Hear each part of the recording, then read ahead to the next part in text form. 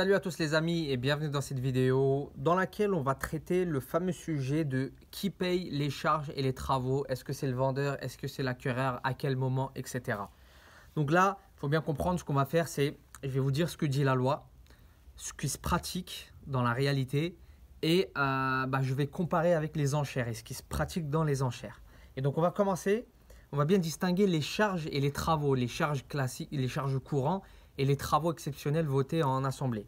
Ok, donc on va commencer par les charges. En réalité, ce n'est pas ce qui va énormément influer sur votre investissement, mais c'est bien de savoir qui paye les charges et ce que dit la loi surtout. Donc la loi dit, c'est au propriétaire au début du semestre, du trimestre, pardon, de payer les charges de copropriété. C'est-à-dire que, admettons qu'une vente d'un bien immobilier se fasse le 10 avril, donc là, vous comprenez qu'on vient de débuter le deuxième trimestre qui commence le 1er avril. Eh bien, ce sera au propriétaire dans la maison au 1er avril que revient le paiement euh, du trimestre en entier. Donc ça, c'est ce que dit la loi. C'est-à-dire que euh, si vous, vous achetez du coup le bien le 10 avril, normalement, bah, du 11 avril euh, à fin juin, bah, vous ne devriez pas payer de charges de copropriété. Vous commencez à payer qu'à partir du troisième trimestre. Euh, au même titre que, euh, par exemple, la, taxe d'habitation. La taxe d'habitation, c'est la personne qui est, qui est dans la maison, dans l'appartement, au 1er janvier euh, que revient le paiement de la taxe d'habitation. Donc si vous, vous achetez un bien le 4 janvier, bah, vous êtes exempté de, de taxe d'habitation sur toute cette année quasiment. Quoi. Donc voilà. Mais en pratique, en fait, le notaire propose que vous répartissiez équitablement et proportionnellement les charges au moment de euh, l'achat. La, C'est-à-dire que le jour de l'achat, le notaire va récupérer un peu plus d'argent à, l'acheteur et le reverser au vendeur pour qu'il puisse bah, régler euh, la, période du 10 avril à fin juin bah, qu'il aura, euh, aura payé à l'avance en fait. Voilà, donc ça c'est ce qui se passe dans la pratique. Maintenant dans les enchères, comment ça se passe au niveau des ventes aux enchères? Quand vous achetez un bien aux enchères, alors que vous passez pas par un notaire, vous ne passez pas d'accord avec le vendeur entre autres. Et donc là, ce qui se pratique, bah, du coup, c'est la loi. C'est la loi qui est en place, c'est la loi qu'on doit respecter, c'est-à-dire que eh bien, c'est euh, la personne qui est dans l'appartement, qui est dans la maison euh, le premier jour, enfin au début du trimestre, que revient le paiement de la charge de copropriété. Donc c'est-à-dire que si vous achetez un bien le 10 avril aux enchères, eh bien, vous ne commencerez à payer des charges de copropriété qu'à partir bah, du 1er juillet. Voilà, ça c'est un petit cadeau euh, quand vous êtes acheteur au niveau des enchères. Maintenant, on va passer à la partie travaux, les travaux exceptionnels, donc euh, changement d'une toiture, euh, rénovation d'un ascenseur, etc., etc. Donc les gros travaux. Comment ça se passe? Donc la loi, que nous dit la loi? Écoutez bien, les travaux sont dus par celui qui est le propriétaire au moment de l'appel de fonds et non au moment du vote.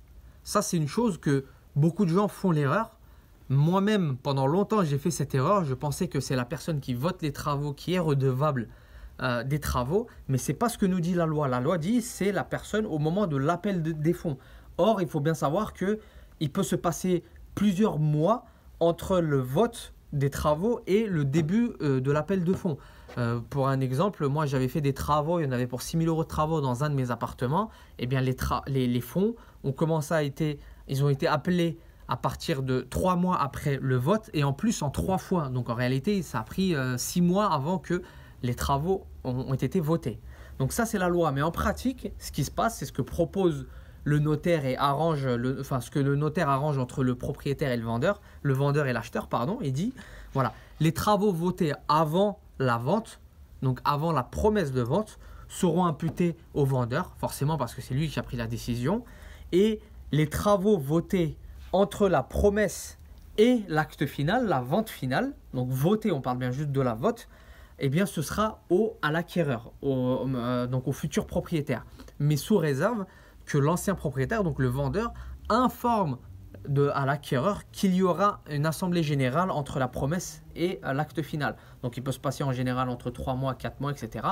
Si le propriétaire, l'ancien, le vendeur, informe avec une lettre euh, au futur acquéreur qu'il y aura une assemblée générale et qu'il faut qu'il y assiste, eh bien s'il n'assiste pas, bah, ce sera tant pis pour lui. Mais s'il y assiste, voilà, c'est lui qui prendra la décision de ce qu'il va payer après coup. Donc maintenant, comment ça se passe au niveau des enchères? Et là, écoutez bien. Donc, aux enchères, eh bien, malheureusement, comme il n'y a pas de notaire, comme il n'y a pas d'accord qui est, que vous ne pouvez pas passer d'accord, eh bien là, c'est le propriétaire au moment de l'appel des fonds qui doit payer. Donc, c'est-à-dire que si vous avez acheté un appartement avec des travaux votés, mais les fonds n'ont pas été appelés, eh bien, ce sera à vous, à l'acquéreur, de payer ces fonds-là. Pourquoi en fait je vous parle de ça? C'est que j'ai visité un bien récemment où il y avait 25 000 euros de travaux qui avaient été votés. C'est la mairie qui avait euh, imposé quasiment ces travaux-là parce que la structure du bâtiment commençait à s'affaisser euh, par une défaillance du sol. Donc il y avait de gros travaux, il y avait des reprises en sous-œuvre à faire, etc. Enfin bref, je vous passe les détails, mais il y avait 25 000 euros de travaux par appartement. Donc la personne qui achète ce bien immobilier et ne sait pas que les travaux n'ont pas été appelés, mais seulement votés, eh bien se retrouvera dans une situation quasi catastrophique. Pourquoi? Parce qu'il va devoir payer des travaux qui ont été votés, mais euh, ce sera à lui de payer. Et puis la difficulté au niveau des enchères, c'est que déjà, bah, vous n'avez pas beaucoup d'informations. Et de là à savoir si les travaux ont été appelés ou non, euh, c'est beaucoup de travail et c'est assez difficile à obtenir comme information. Un gros point, il faut faire attention quand on fait des enchères, c'est s'il y a des travaux qui ont été votés mais non appelés, non payés, eh bien ce sera euh, au propriétaire au moment, euh, au moment de l'appel que revient bah, cette charge-là. Voilà les amis, moi je vous invite à cliquer sur le lien dans la description de la vidéo pour regarder un extrait de séminaire d'une heure sur les ventes aux enchères immobilières comment se différencier des autres, faire de bonnes affaires, augmenter ses chances. Et, euh, voilà, je vous invite à, visionner gratuitement cet extrait de séminaire. Et eh bien moi, il ne me reste plus qu'à vous dire à bientôt pour une prochaine vidéo. Et si vous avez des questions, comme d'habitude, sous la vidéo, posez vos questions en commentaire. Salut à tous